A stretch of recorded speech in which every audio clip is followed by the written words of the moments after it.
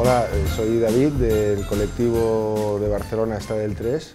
Llevamos mm, haciendo bastantes proyectos de temas de participación, vivienda, reciclaje de espacios y a través de, todos estos haceres pues nos hemos ido encontrando con situaciones en las que nos hemos tenido que inventar herramientas. ¿no?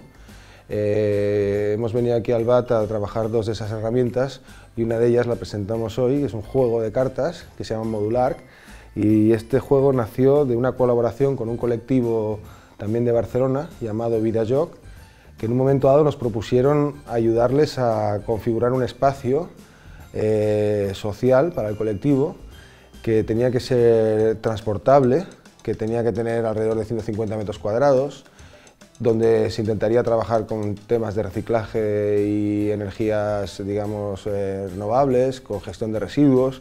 Entonces montamos un juego de cartas que tiene también una componente de juego del rol, que es opcional, y en la que uno se encuentra pues, con distintos materiales de construcción, con eh, opciones de energía, con opciones de, de soporte a la vida, con temas también de necesidades eh, por ejemplo, de conocimientos o de mecanismos de montaje o de transporte, y todo esto, mediante las cartas, uno se va encontrando distintas situaciones que tiene que ir resolviendo. ¿no? Es un juego que se puede jugar en grupo o se puede jugar individualmente, y no es un juego competitivo, aunque puede serlo. ¿no? Es un juego que se puede enfocar de muchas maneras, eh, por poner un ejemplo, pues en lugar de tener en medio una banca, lo que tienes es eh, pues un, un, digamos lo que podemos llamar una chatarrería. ¿no?